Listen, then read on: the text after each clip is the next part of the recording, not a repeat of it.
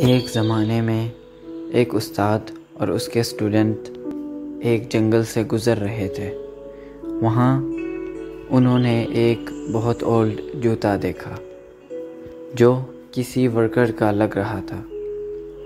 Student ने अपने उस्ताद से कहा कि हम इसका वर्कर का फ़न बनाने के लिए ये जूता छुपा देंगे। लेकिन उस्ताद ने कहा, नहीं हम उसमें पैसे रखते हैं और देखते हैं कि उसका रिएक्शन क्या होगा। जब वो वर्कर वापस आया तो उसने देखकर बहुत खुशहाल हुआ। वो हैप्पी हो गया और अल्लाह से दुआ की और कहा, या अल्लाह, बहुत शुक्र। तुझे पता था कि मेरे भूखे बच्चे हैं और मेरी एक बहुत बीमार वाइफ है। वो बहुत खुश हुआ और हाथ भर के घर वापस लौट आया। ये लेसन टीचर ने सिखा दिया।